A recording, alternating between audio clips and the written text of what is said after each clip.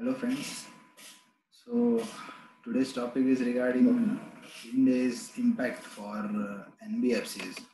So as you all know in 18 financial year 18-19 slab you can see all scheduled banks, Exim Bank, NABARD and SIDBI were going to follow India from this financial year but uh, due to their uh, and uh, limited banking industry on already is deferred by RBI as Ind AS is deferred for them. uh, Ind AS applicability is deferred for these waiting for, banks, uh, banking sector. their deferral circular, but, by uh, RBI as of now.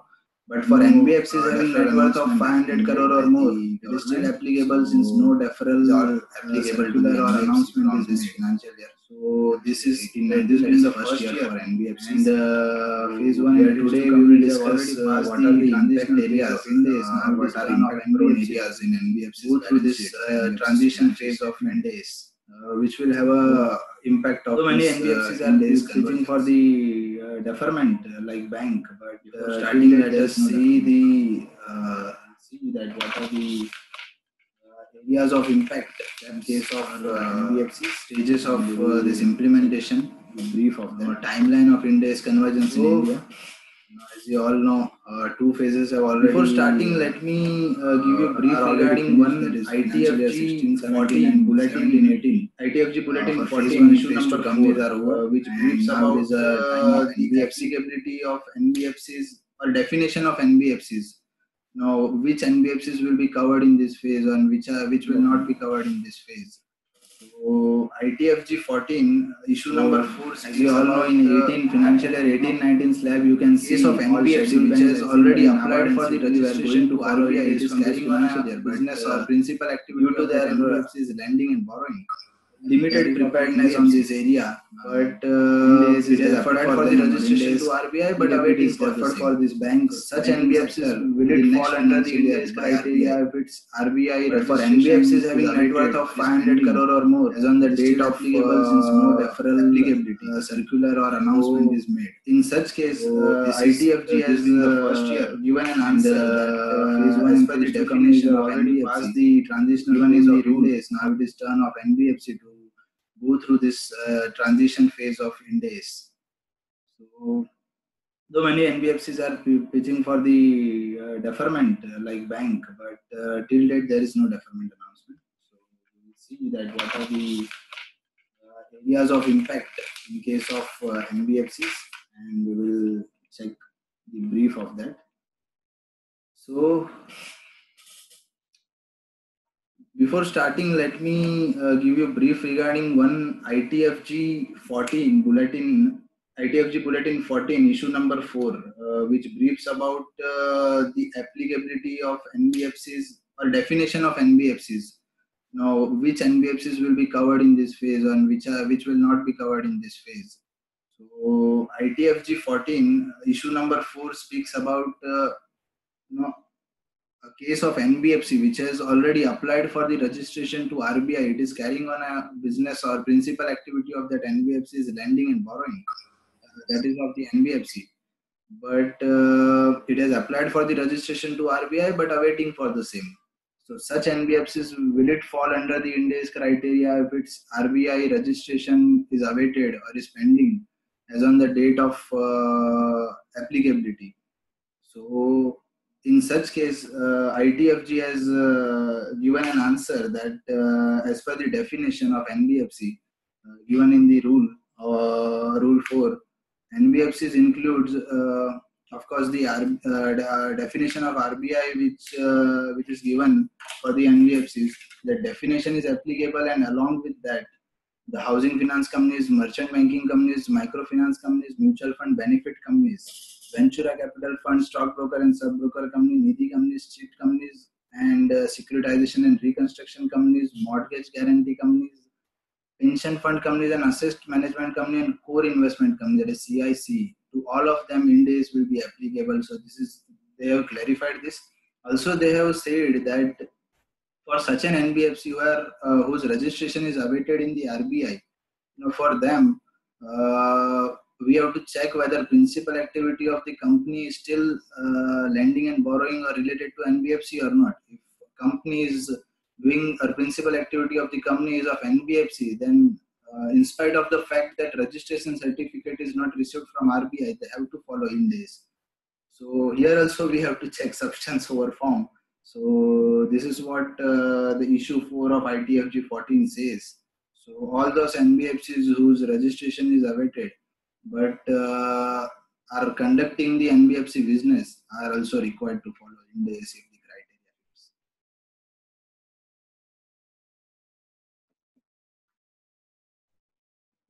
So before going on to the specific impact on financial statement uh, on specific items of financial statement, let us look from the aggregate perspective that uh, what impact will it have uh, on the presentation.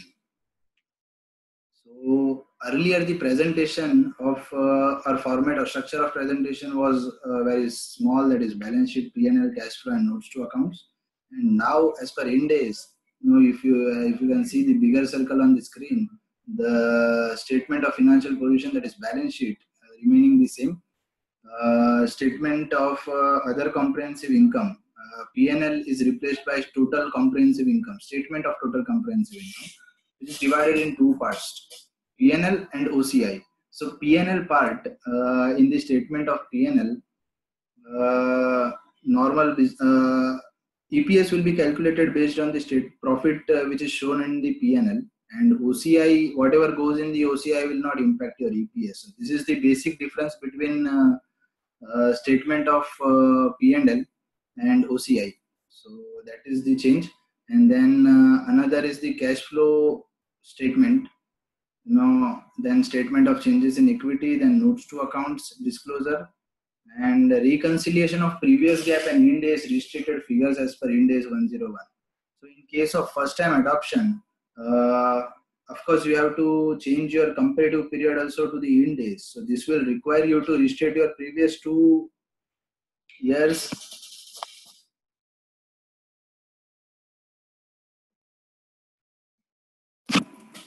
for the interruption. So this will require you to change your uh, uh, previous two years uh, financial statement or uh, balance sheet figures into Ind AS.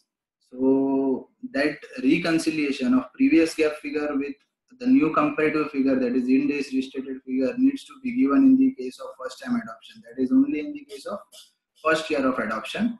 This will not form a part of financial statement from the next year.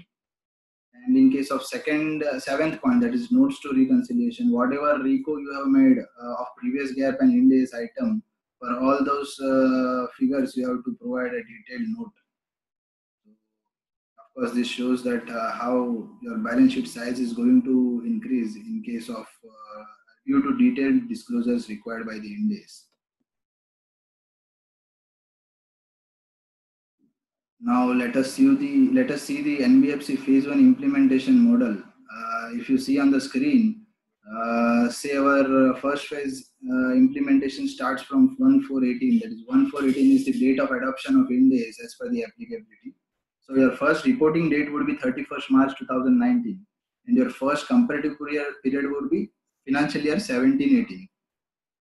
So your opening Ind AS balance sheet, that is date of transition to Ind AS, uh, would be prepared firstly on 1417. So your 1417 figures you will convert into Ind AS.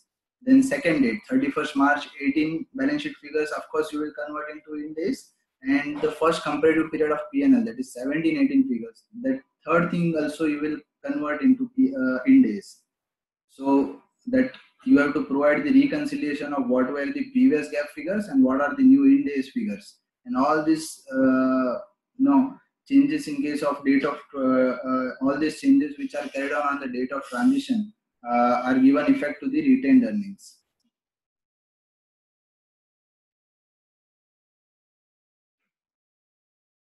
And of course, the first period would be 1819, uh, as mentioned in the slide, and the step one, step two, and step three. Now, before starting, let us see what are the fundamental changes uh, which are there in case of Ind AS companies. You know, uh, in normal company, in Ind AS companies, if you see uh, the 70 80% of the balance sheet items are either financial asset or financial liability. So Ind AS 32, Ind AS 109, and Ind AS 107, that is financial instrument standards, uh, will play a major role in convergence. So financial instruments uh, are the major part of NBFC's balance sheet. So major impact area would be financial instruments uh, will be there in financial instrument standard. Uh, fair valuation is a major uh, challenge as uh, currently they were following or majority of the NBFCs were following in case of investments and everything they were following the cost model. So now fair valuation requirement will of course uh, give some hard time to the companies. So, and of course, uh, in case of fundamental changes, whenever this uh, first time adoption takes place, then in that case, the majority changes takes place in uh, case of key ratios of the company. And of course, NBFC submit the variety of ratios to RB, RBI and other authorities. So, uh, due to this type of changes, uh, key ratios will be changed. So, this is the change where uh, which needs to be planned. I mean, NBFCs need to see the impact areas and based on that, what are the key ratios which are changing, and based on that, they may make a decision of uh, Ind 101 options which are available in case of uh, fixed assets or investments in subsidiary associates and another few financial instruments. So this type of things needs to be taken care in case of first time adoption to go through the smooth transition. If you see on the screen, fundamental changes would be use of estimates and judgments, expected credit loss model. Of course, currently the NBFCs were following RBI provisioning or uh, provisioning given by the authorities, uh, which were rule based. I mean, for example, if it crosses the certain days limit, then this much provision you have to do. This type of limit were there.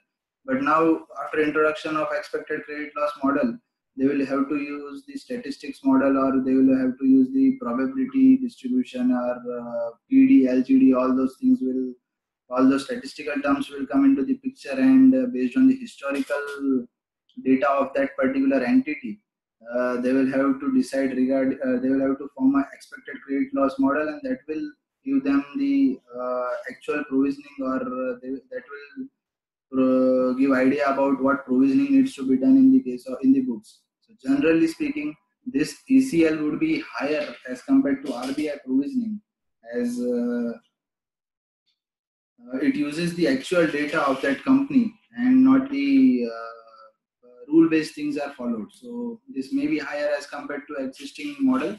So this needs to be planned earlier and uh, needs to be checked in well in advance to avoid any last minute of course, present value concept will come detailed disclosure as I just shown you in the previous slide. And uh, some other things which would be the fundamental change in case of NBFCs.